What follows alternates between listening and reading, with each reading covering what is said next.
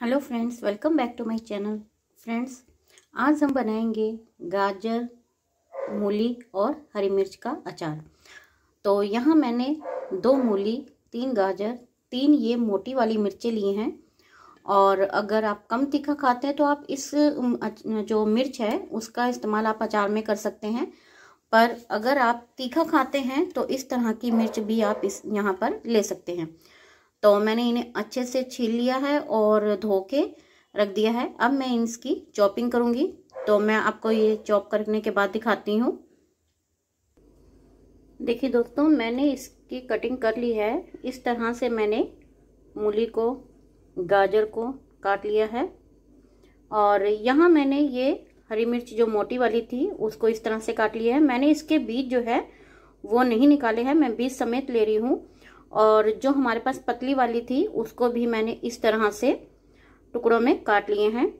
आप चाहें तो इसके बीज निकालकर यूज़ कर सकते हैं, पर ये चूँकि तीखी नहीं होती है, इसलिए मैंने इसके बीज रहने दिए हैं। अब मैं इन सारे मटेरियल को एक कपड़े पे दो घंटे के लिए पंखे के नीचे सूखने के लिए रख दूँगी। इससे हमारी जो अचार बनेगा, उसकी शेल्फ लाइफ जो है, वो काफ़ी बढ़ जाती है।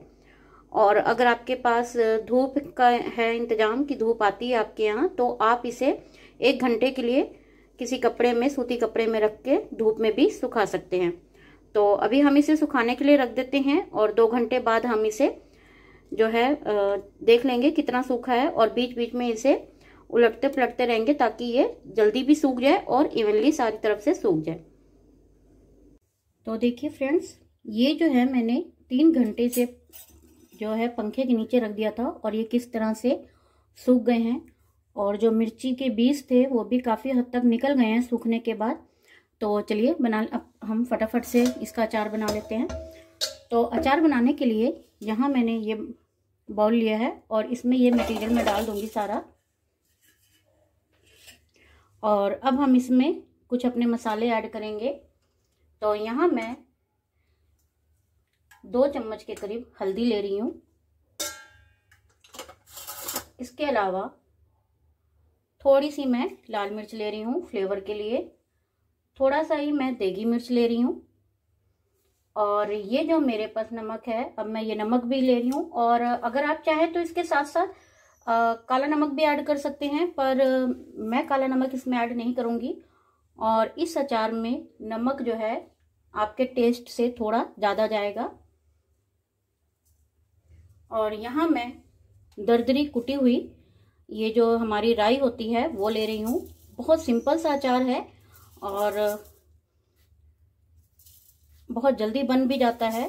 सिर्फ़ इसका जो पानी होता है, जो हमारी सब्ज़ियाँ होती हैं, उसका मॉइस्चर हटाने के लिए हमें इसे सुखाना ज़रूरी होता है।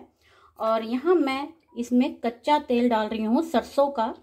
इससे इसका फ्लेवर बहुत अच्छा आता है। पर अगर आप लोगों को कच्चे तेल की स्मेल अच्छी नहीं लगती है तो आप इसको पहले अच्छे से गरम कर लीजिए तेल को, और उसके बाद जो है, इसे पूरी तरह से ठंडा करके इसमें डाल सकते हैं। पर मुझे अच्छा लगता है तो मैं हमेशा इसमें कच्चा ही तेल डालती हूँ। आप अपनी मर्ज़ी से कुछ भी जो है, इसमें गरम करके तेल डाल सकते हैं, पका कर या फिर कच्चा भी डाल सकते हैं। और इसे हमने अब अच्छे से मिक्स करना है।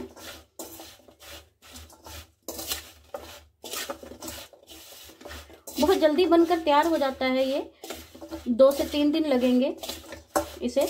अगर हम अच्छी धूप में इसे सुखा मतलब रख देते हैं तो दो या तीन दिन में ये खाने लायक हो जाता है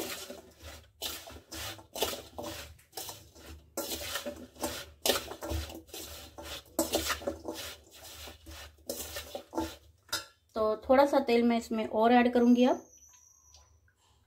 और वापस से इसको जो है मिक्स कर दूँगी।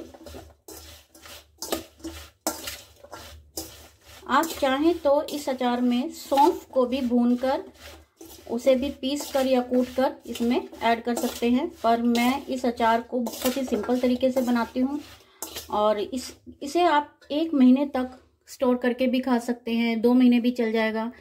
और बस इसका जो मॉइस्चर है, वो बिल्कुल नहीं होना चाहिए इसमें। तो इसकी जो शेल्फ लाइफ है, वो काफ़ी हद तक जो है, बढ़ जाती है। तो ये हमारा अचार अब हमने इसको डाल दिया है। अब मैं थोड़ा सा जो है, इस तरह का एक कांच का जार ले रही हूँ। इसमें पहले मैं थोड़ा सा ऑयल जो है, इसमें डाल दूँगी और इस तरह से इसे घुमा दूँगी। तो जो हमारा ये बर्तन है, कांच का, ये बिल्कुल सूखा हुआ है। ये इसमें नमी नहीं होनी चाहिए, गीला नहीं होना चाहिए।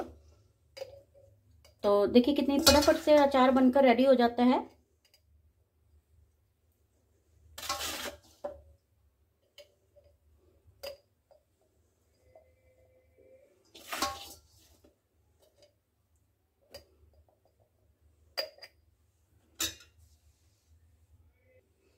तो लीजिए दोस्तों, तैयार है हमारा गाजर, मूली और हरी मिर्च का अचार कई तरीकों से बनाए जाते हैं, पर ये इजी लगता है, मुझे बहुत जल्दी बन जाता है। और इसमें कुछ खास मसाले भी इसमें नहीं डलते हैं तो एक बार ज़रूर ट्राई करिएगा। अगर आपको मेरी आज की रेसिपी पसंद आई है तो मेरे चैनल को सब्सक्राइब लाइक और शेयर कीजिए। साथ ही साथ बेल आइकन के बटन को भी प्रेस कर दीजिए, ताकि मेरी आने वाली सारी वीडियोस का नोटिफिकेशन आपको सबसे पहले मिल सके। Thank you so much